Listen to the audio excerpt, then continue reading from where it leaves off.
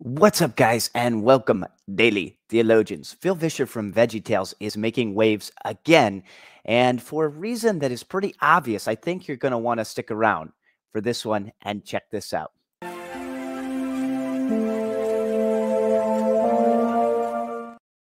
There. Wait a minute. I have to. I have to correct something I just said. Hmm. I just spoke from an entirely white perspective. African American pastors are also in big city. I'm thinking of Charlie Dates. You know, Charlie mm-hmm. Dates is right downtown Chicago in a very secular environment as well. So the black church, I'm going to add that on. I do think the more, you know, over the last couple of months that the black church plays a key role in American Christianity going forward um, because it's not, it hasn't been co-opted so, Phil Vischer, Mr. VeggieTales. I was grateful for him when I was first saved, and then I started to pay more attention to some of the theological things, and I think he should be avoided. And let me explain why. Uh, when someone says something like that, it doesn't mean he's wrong. He actually might be right. He might be right that uh, African American churches are helpful in many areas going forward to face the unique problem sets facing the country country and culture. The problem is this when everything becomes about race. There's only one race, the human race. When everything becomes about your secret knowledge of being on the inside, of having the right perspective on these things, of evaluating everything through this filter, including Voddie Baucham, who we're going to get to.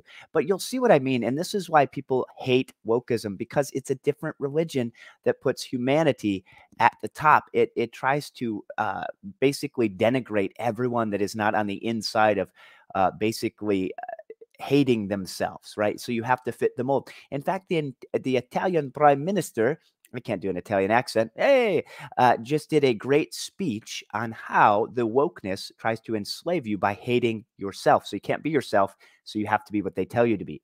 And uh, so I think she was onto something. I'll probably do a clip on that. But Phil said this recently. Abortion is an obvious evil. Okay, agreed. Just as war is an obvious evil. Okay, potentially uh, are either ever justified. Christians come to different conclusions. And of course, that is correct. They do come to different conclusions on war. I assume you know of Christian history to be aware of this. What he's doing, though, is he's lumping abortion into our view of war. And that, of course, must never be done, to quote Pilgrim's Progress. He's he's you see what he did there he just tried to slip a curveball past everyone saying yeah christians some are for abortion uh, no, Phil. No, no, they're not. That's evil. It's murder. They don't come to different conclusions on that one. So again, his judgment is off. He's uh, using, uh, I think, deceptive argumentation tactics as well. If you pay attention to this clip, I'll play that clip again um, because basically everything becomes about what color are you? What ethnicity are you? And that is really an attempt to divide. And then I want to mention uh, the age of the earth and his uh, his views there as well. So check this out one more time. There. And- Wait a minute. I have to I have to correct something I just said. Hmm. I just spoke from an entirely white perspective. Okay, so you can watch that whole clip yourself. Now, I'm not saying that uh, we shouldn't consider other people's perspectives, but he's white. Uh, you just say, you know, my perspective may be not entirely considering other people's issues and things they're facing. In fact, I've seen him uh, recently. I was reading through this.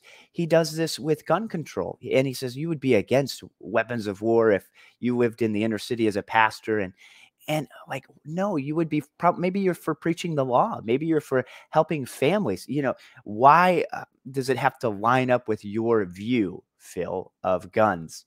Why? Well, that's a woke tactic to try to control people. And uh, also with this, everything it becomes about race, and you'll see that with Voddie Baucham. Let me show you the Voddie uh, commentary here.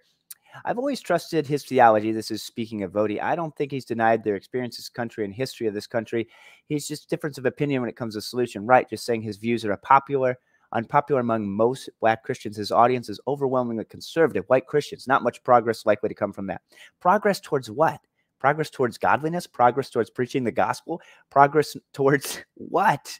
What are we progressing towards? Now you can say I don't agree with Voddie. I don't I don't think that he's uh, right. I think you'd be wrong because Voddie's generally right down the middle with most of the issues.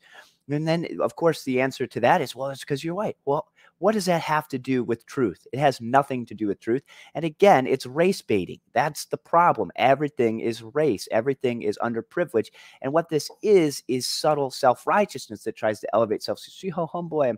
You're not being humble because the way you're doing it is divisive, evil, and false. You're presenting the facts and this uh, argumentation in a false way. Check this out.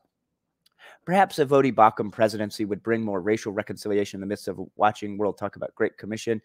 Dude is living here, probably no more than a Candace Owen presidency. Unfortunately, he doesn't speak for many African American Christians. Now, that was back in May, but you can see here everything is about race. So, Voddie, Voddie's opinions don't matter because he doesn't represent his uh, ethnicity right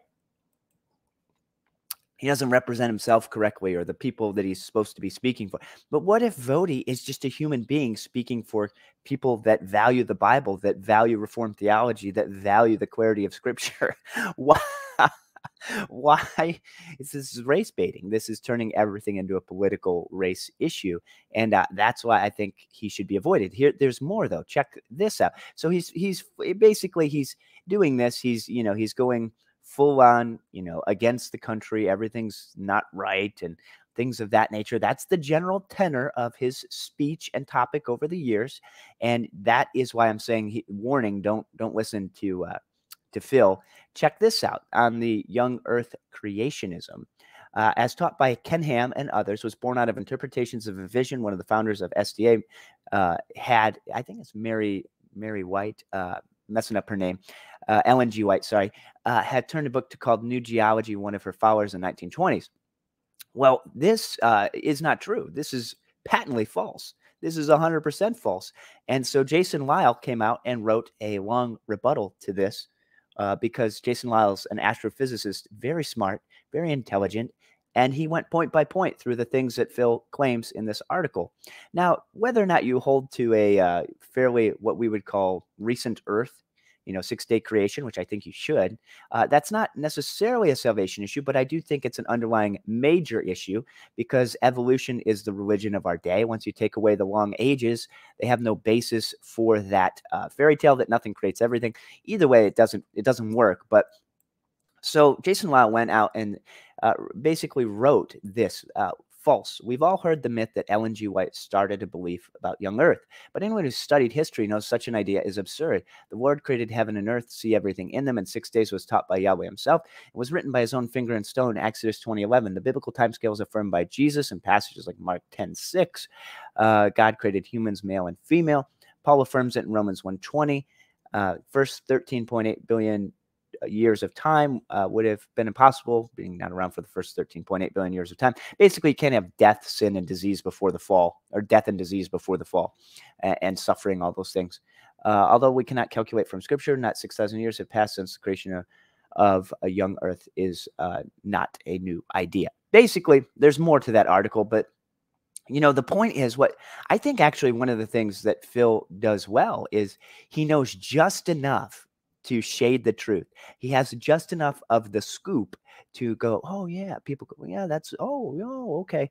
And what they're missing is the context or the authority of the Bible or things of that nature. And and people like this, um, it's how the uh, the mob operates. Again, it's all whipping people up into a frenzy, us versus them. Uh, that that we've got the inside scoop. You got to hate hate uh, your ethnicity because there's only one race, the human race, in order to be uh, part of the in crowd. It's a form of Gnosticism and a form of self righteousness, and it needs to be rejected. Now, I'm not saying Phil isn't a Christian. I'm not saying that at all. I, I don't know you know where his heart's at and all this but i will say avoid his teaching avoid his commentary because he throws in subtle things and uh, you'll notice the people that get fired up about this are the ones that say, "Yeah, we got to do that." Now, I'm not saying you shouldn't help the poor, but his uh, he, even did a thing on immigration that if we don't let the the poor and the sick and all these people just flood into the country, then then we're not loving the least of these. Then we're racist or or whatever he's he's saying. Again, all about race, all about promoting his agenda. But what most people are saying is no, we have law and order as a process to protect the neighbors and nations and integrity of this place for the betterment of those around us, for the safety of those coming in, and because it's right. That is the process. It's not uh, an evil process to do that. And you can have different views on that, but but basically his view is that you have to agree with me or you don't get it or you're you're not you know you're speaking from whiteness even Voddie speaking from not blackness he's not black enough or whatever it, it's it's a racist thing and the the reason this is deceptive is it sounds so tolerant it sounds so loving but what it is is it's hateful. This is a self-righteous man manipulating people. This is a self-righteous man twisting things in order to promote his agenda. This is a self-righteous man that is trying to convince you that you should be under his yoke, which is a yoke of slavery. But Christ died to set us free from slavery. He died to save people from every tribe, tongue, and nation. He lived a perfect sinless life in our place, born infinite hell that died and rose. Where's the gospel in any of these messages? Where's the hope? Where's the freedom? From sin and its enslavement to sin. Well, people that promote this want to put you back under the law. They want to put you back in slavery. And that is the issue. And they do that by whipping you up into an emotional frenzy, by making you angry, by making you, you know, like that. But the reality is, a guy that says Christians have different opinions on abortion, really, Phil? I don't think so. They don't, to quote Macaulay Culkin. Abortion is murder. and so the way he argues is manipulative. And that's what I'm trying to show. I'm not trying to say that you have to agree or disagree with everything he says. I'm saying the way he argues is divisive. The way he argues is manipulative. The way he argues is not true or forthcoming, and he has an agenda, and it's the it's the good old left playbook that he's trying to run on everyone. Where Voddie can't even be Voddie. He's not he's not representing them. Who's he representing? Phil? Is he not representing humanity? He's not representing Christianity. I, it's just there's one race, the human race. Have you not read? God made them in the beginning, male and female. And I think people that fail to understand the uh, importance of that unity are falling right into the trap of dividing. And I've had some serious conversations with one of my best friends over this, and he was angry with me. He's also well, I'm not going to give it away, but he's he would be um, anyways, good friend, but but it's this issue and it manipulates people. Even people with good theology can fall into this because of their experiences. I'm not saying their experience is wrong. The problem is when they say, "Well, you're racist because of that. That's your privilege talking because Ooh, who's got the privilege now throwing out that card? That is boom, right back in your face. You're the one that's angry. You're the one that's being racist. And you know what you never hear about is black people being racist in these things. You never see it. Oh, they can't do it. That never happens. Really? It doesn't happen. Oh, it's always just the white guy, huh? Now we understand why. We understand the history of of um, different things in our nation, but other nations have enslaved people forever, and no one ever talks about the Jewish nation being enslaved. Hardly ever hear that. Hardly ever hear other nations that are not uh, considered black talked about. So this issue has to do with the human heart. It's the human heart that's the problem. It's not the color of somebody's skin. It's not their ethnicity. There are certainly different perspectives here, and I'm not trying to denigrate those or or say those are not important. What I'm saying is you cannot come out and say that uh, these half truths and Phil what Phil's saying, and I just wouldn't recommend him. That's basically what I'm saying. Stay away from Phil. Stay away from the veggie man. And uh, let me know what you think below. Leave a comment, and don't forget to take a moment, hammer that like button like the 95 Theses. And uh, thank you very much. God bless.